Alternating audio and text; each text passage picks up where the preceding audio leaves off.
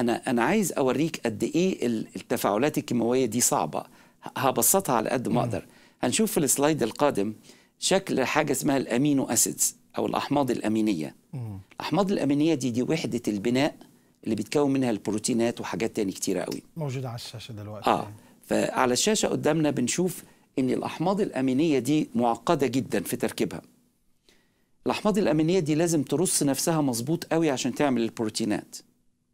لو حمض أميني جه مكان واحد تاني الم... البروتين ده ما يشتغلش. فمثلا الهيموجلوبين اللي في جسمنا عبارة عن حاجتين هيم وجلوبين. الهيم اللي هو الحديد والجلوبين ده البروتين. البروتين ده حوالي 540 حمض أميني. تخيل بقى 540 حمض أميني يتكونوا بالصدفة ويرتبوا نفسهم بالصدفة عشان يبتدي يشتغل؟ مستحيل. ده لازم يكون لها مصمم لازم يكون لها صانع. مستحيل إنها تحصل كده. عايز اعقد لك الموضوع شوية. فهنشوف السلايد اللي بعد كده.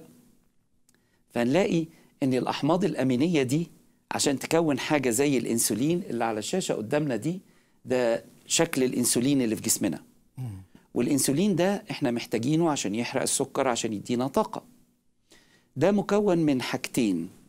ال- الجزء الأسود ده هو بيورينا ال- ال- الأحماض الأمينية. والجزء الفاتح شوية ده اسمه سي بيبتايد. مش مهم التفصيلات قوي.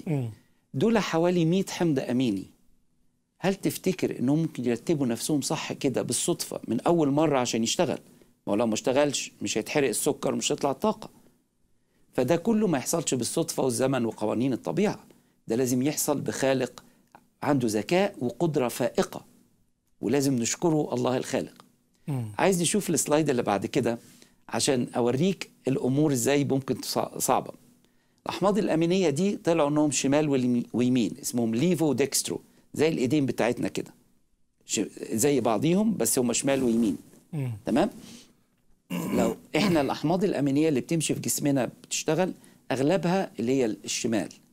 لو جاء واحد يمين مكان شمال الدنيا تقف. شوف قد إيه التعقيد.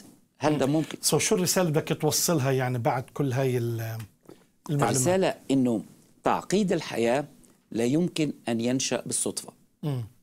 وفي مذهب الإلحاد أو المذهب الدنيوي اللي بيرفض وجود الله كل اللي بيقولوا إن عندي الصدفه والزمن وقوانين الطبيعة.